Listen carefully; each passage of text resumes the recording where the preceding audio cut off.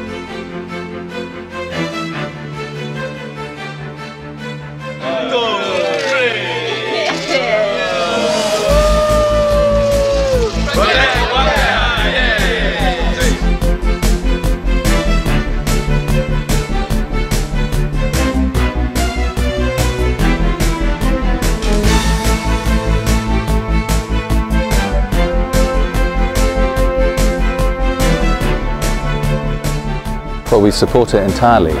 Um, we're happy with the idea, we're happy with the preparation, and that's why this morning is such an exciting event, because this could be the beginning of a reduction in the numbers of dengue that we have to cope with each year. We have many traps uh, dispersed in this area to study the dispersal of the mosquitoes.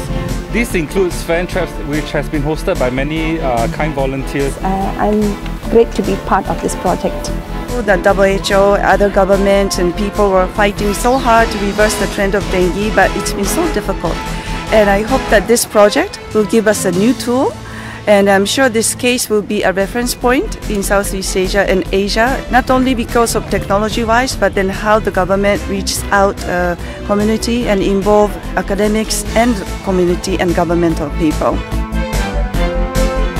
While data is being collected from the field studies, NEA continues to engage stakeholders and the surrounding community at the study sites to generate ongoing awareness and understanding of Wolbachia Aedes technology and address any feedback and concerns.